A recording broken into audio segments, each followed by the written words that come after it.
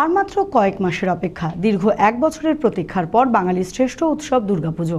রবিবার উল্টো রথযাত্রার দিনে খুঁটি পুজো দিয়ে দুর্গাপুজোর শুভারম্ভ হলো আইসবাগ দুর্গাপুজো কমিটির।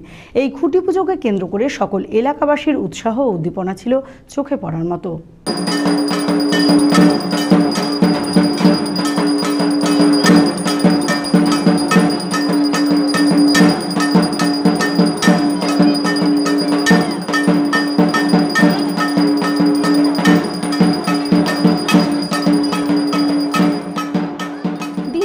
বছরের প্রতীক্ষার পর আর মাত্র কয়েকটা মাসের অপেক্ষা, আর তারপরেই বাঙালির শ্রেষ্ঠ উৎসব দুর্গাপুজো।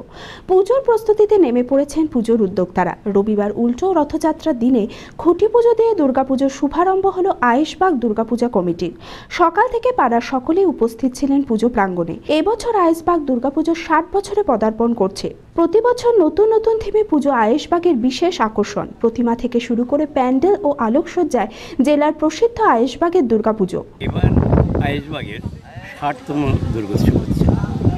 আমরা বিগত উনষাট বছর এইভাবে পুজো করে এসেছি। যদিও কয়েক বছর থেকে আমাদের পুজোটা ফেমাস হয়েছে, আমরা চেষ্টা করছি এমন ধরনের থিমগুলো বেছে নিতে, যেটা আশেপাশে এই এলাকার কোনো বয়স্ক মানুষরা বা গরিব মানুষরা ওই মন্দির গিয়ে দর্শন করার সুযোগ পায় না। আমরা সেই ধরনের মন্দিরগুলো এখানে তুলে ধরার চেষ্টা করি প্রতি বছর।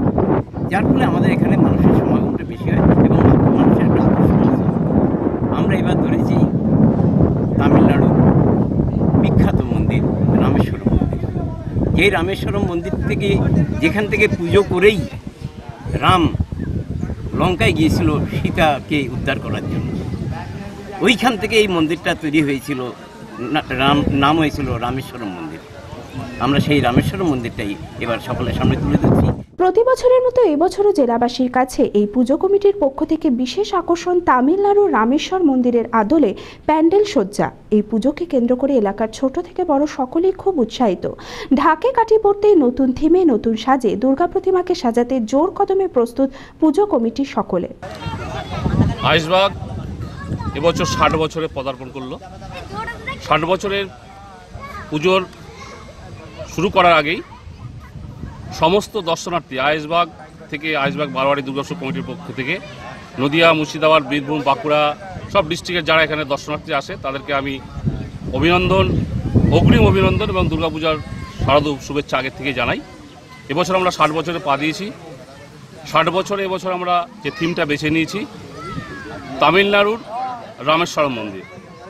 আমাদের শিবের যে বারোটা জ্যোতিষলিঙ্গর যে মন্দির আছে, তার মধ্যে একটি। এবং এটা খুব সুবিখ্যাত মন্দির।